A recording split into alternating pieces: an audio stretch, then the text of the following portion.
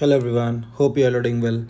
So in this video, we'll discuss the third problem of LeetCode bi-weekly contest 111. Again, it's a medium level problem, uh, but I would say relatively on the easier side. The accuracy is low because of, uh, we'll, we'll see why the problem is sort of a bit confusing if you've seen the problem statement.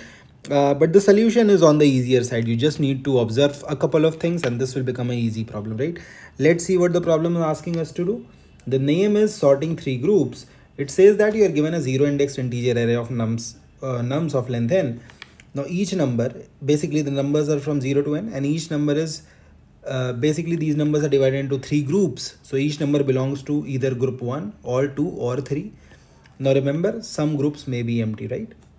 Now you are allowed to perform this operation any number of times right? Which operation we need to perform? Pick a number x and change its group right? More formally change nums of x to any number from 1 to 3 in short there are three groups. All the numbers belong to either of the group. In one operation, you can choose a number and change its group. That's what it means to say, right? This all thing is saying the same thing, right? Now, why do we want to do this? Because we have to build a new array. How do we build a new array?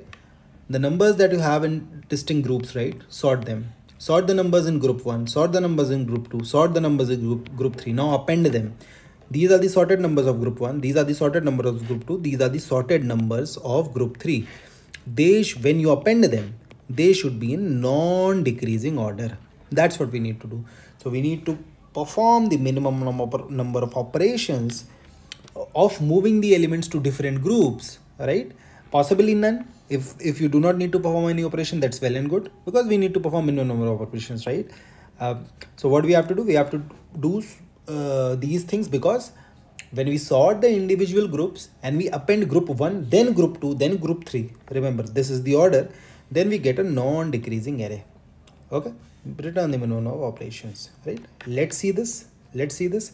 So 0 1 2 3 4 5 index number 0 basically belongs to group 2 1 belongs to group 1 this belongs to group 3 this belongs to group 2 this belongs to group 1 right let's write it, it another way. In group 1 we have 1 and 4 in group 2 we have 0 and 3 and in group group 3 we have only 2 what we have to do? If we sort this we get 1 4 0 3 and 2 if you append it what do you get? You get 1 4 0 3 2 this is not non decreasing we want non decreasing that means ultimately the order should be 0 1 2 3 4 so let's perform this operation, right? So it says change num0 to 1. That means the zeroth element should be moved from, right? Should be moved from group 2 to group 1. So 0 should come here. Okay. So the sorted format will become 0, 1, 4. Remove this. This is how it looks like 0, 1, 4. Again, if we append it, we do not get it in, uh, what do you call it, non-decreasing order. Change its group element 2 this one is it right now is in group 3 let's move it to group 1 so this becomes 0 1 2 4 and change this element as well. Element number 3 is in group 2 move it to group 1 so we perform three operations. And the groups are 0 1 2 3 4 group 2 is empty. Group 3 is empty. So ultimately when you append them you get a non-decreasing array. Right? This was the only possibility in this configuration. So we did that. Let's check for other configurations right so in group 1 we have element number 0. Let me write the indices 0, 1, 2, 3, 4, 5. So in group 1 you have 0, you have 3. In group 2 you have 2. In group 3 you have 1, you have 4, you have 5. Okay, let's see how we can perform these operations. Okay, it says change nums1 to 1. This is nums1 to 1. That means from group 3 move it to 1. From here move it to 1 okay. Change nums of 2 to 1 that means this element should be moved from group 2 to group 1 remove it. It's right. The configuration looks like 0 1 2 3 this guy is empty and this has 4 and 5 now if you append them 0 1 2 3 this is empty and this is 4 5 we get non-decreasing array. So the minimum number of operations needed is 2 right?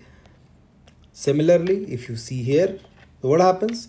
Uh, in group 1, I have nothing. In group 2, I have 0, 1, 2, 3.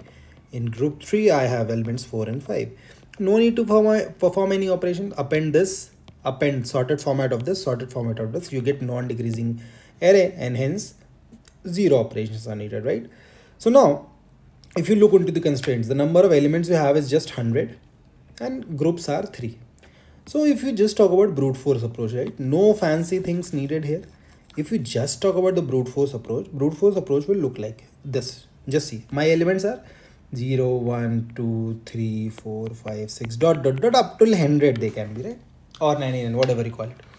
Now a brute force approach says that since the constraints are low why not divide the why not check all the configurations right?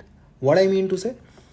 That let's have some elements in group 1 some elements in group 2 and the remaining elements in group 3 since the elements are in order what i mean to say if 0 to x are in group 1 then x1 x plus 1 to y will be in group 2 and then y plus 1 to n will be in group 3 or n minus 1.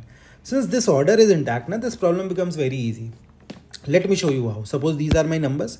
So I can try different configurations. That means let's these numbers, let, let me put these numbers in group 1 let's draw a line here. Let's put these numbers in group 2 and let's put the remaining numbers in group 3 right?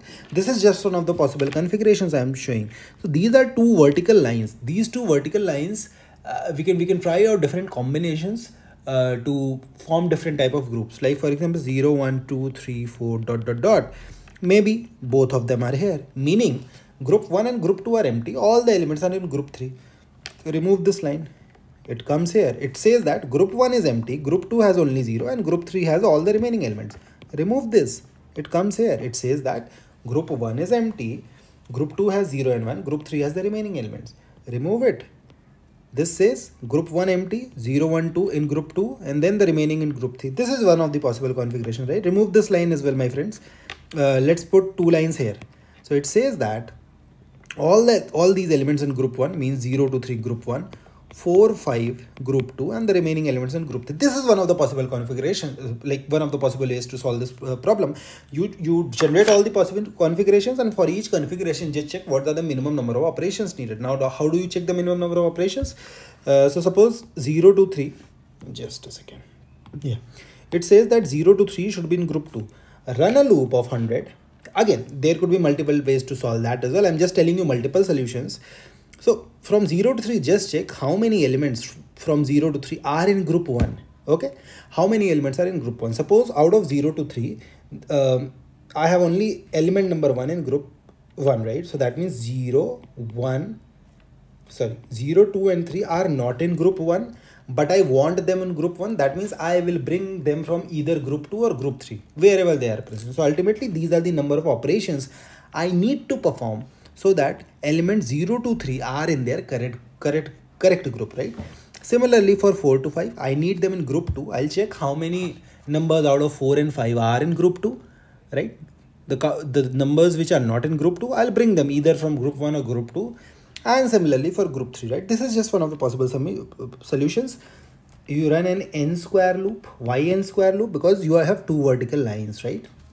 These two vertical lines will take n plus 1 different positions right? 1 2 3 elements. So 1 position 2 position 3 position 4 position. That is why for n elements n plus 1 different positions of these two vertical lines of big of n square to basically form different groups right? This is one of the solutions but let's talk about a better solution right? Let's talk about a much much much better solution. Why much better? Because uh, the second the solution that now i'm going to discuss is a standard one right? Uh, this is how you reduce problems to some standard problems. This is how you learn the things right? So let me let me do those things. So those things are let me yeah let me start like this. I have some numbers in group 1 some numbers in group 2 some numbers in group 3 my aim is to put these numbers in sorted format. Then these numbers in sorted format and these numbers in sorted format so that they are forming non-decreasing uh, they are basically non-decreasing order right? This is what i need to do. Now let's see the initial configuration right? I have some initial configuration that every number is, is in some of the groups right? Let's do that. So suppose uh, let me take yeah let me take this configuration. 1 3 2 1 3 3 i'm just taking this configuration for simplicity right? Now what happens is the 0 1 2 3 dot dot dot these are the actual numbers. And these are the groups right? These are the groups. Again this is just to confuse you. I, I personally feel this is just to confuse you. These are the numbers these are the groups right so what i can what i can do is if i just form the if i just find out the longest increasing subsequence right? Longest increasing subsequence of this array. Why i will find out this? Okay why i'll find out this? Just see. The longest increasing subsequence will tell me that the elements are already in increasing order, right? Because the indices are the numbers and they are already increasing, right? But the LIS will tell me that, suppose, suppose, in this case, what happens? What is LIS? So just see, what is the longest increasing subsequence? It is, this is 1, 2, 3, 3. Okay. So I hope this is, yeah, 1, 2, 3, 3, no, one, 6 elements. So 1, this is 3 this is 2 this is 1 this is 3 this is 3 1 2 this this is the longest increasing subsequence that i can form right other ways obviously you can use this one 1 3 2 1 3 3 this is also one of the possibilities. But what this guy is saying now what this guy is saying LIS is giving me a hint that look this is element number 0 this is in group 1 this is element number 2 this is in group 3 and this is element number this is the next element. Now this element where should this element be right? The group number of this element right? The group number of this element should can't be greater than the group number of the previous element right? Getting it? Another way to look to this problem right? The group numbers of the group numbers of the numbers should be non-decreasing. Should be non-decreasing. Why? Because what I do, the problem is saying put all the numbers in sorted format from group 1, then group 2, then group 3. So ultimately, these all are in group 1, these all are in group 2, these all are in group 3. Maybe empty, but doesn't matter. So I am solving this problem in another way that whatever is the initial configuration, I'll find the longest increasing subsequence. Form the find the longest increasing subsequence. That will tell me that this is the longest pattern, right? And you just need to tweak the elements which are not part of LIS right because I need to perform the minimum number minimum number of operations so I'll find the maximum number of elements which are in their correct position right why correct position because suppose an element here is in group 1 here it is in group 3 2 here 1 here it is in group 3 then 3 then 3 let's take an example right? What this configuration tells me that okay this is in 1 this is in 2 this is in 1 these three are in 3 now the only culprit here is this guy. Why? There are two possibilities by the way. Either this guy is culprit or this guy is culprit. This guy is culprit because here I have group 1 here I have group 2 now again I come and here it is group 1 so either this guy should come in group 1 so this will become 1 1 1 3 3 3 or this if I treat this guy as culprit so this guy should come in group 2 so this becomes 1 2 2 3 3 3 just another way to look into this problem. Why? Because these groups are for some numbers and those numbers are actually indices getting it.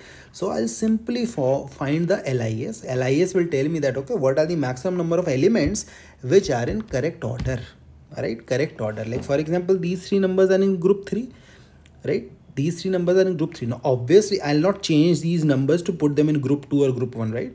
So that is how it helps me. That is how it helps me. Okay? Now comes the question how to find the lis this that is a very standard problem right? These are the number of elements you have uh, this is the lis now a single element is always an lis right lis is longest increasing subsequence okay so maximum lis is 1 now what i do I find the LIS for index number i. So to find the LIS of index number i, what you do? You, you cal already calculate the LIS of previous indices and you just check that. For example, this guy, if this guy is less than or equals to this guy, that means I can add this element to an element uh, to the to the subsequence which was ending here, right? This is basic, very standard algorithm. You can just search for LIS. That is what I have done here. To calculate LIS of i, I am running loop from 0 to i just see this is less than i okay and if the element at ith index is greater than equals to element at jth index so lis of i is equals to math dot max of lis of i like whatever is the current value and lis of j plus 1 means whatever is the length of the sequence ending at j plus 1 because i'm adding the ith element right? Because the condition is being satisfied. Now why i'm taking max lis because in in the same loop i just want to find out what's the maximum length of what's the lo longest increasing subsequence length right? Because I'll take that part. And out of n elements those elements are in their correct order and minimum number of operation means that the remaining elements will just change their group. Doesn't matter in which group they go, go. there could be multiple configurations. But again n minus max lis just see max lis equals to whatever is the value of max lis and lis of i. Why lis of i? Because this is the value that you have just tweaked na? so maybe it becomes larger than max lis simple. Very very simple solution. So the first solution was something that comes to everyone in in, in everyone's mind right? But this is more of a i would say um, you know standard way i would say reason being uh, you convert a given problem into a very very standard problem. So that is the beauty of this um, this this solution. That's what i feel. But yeah do let me know if you have some any other thought or rather if you used any other way to solve this problem do let me know uh, because we all learn from each other. So yeah uh, and also i hope you learned something new from this video. So do support it by giving up a thumbs up do subscribe to the channel as well in case you have any queries related to the solution mention that in the comment section. I'll revert on each one of them. Thank you. Take care. Bye bye